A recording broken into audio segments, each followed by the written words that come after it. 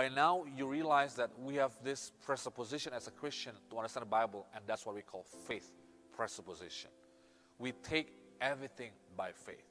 We have this greater and supreme trust on God as the one who inspired this Bible. And all these Bible stories are meant for our spiritual growth.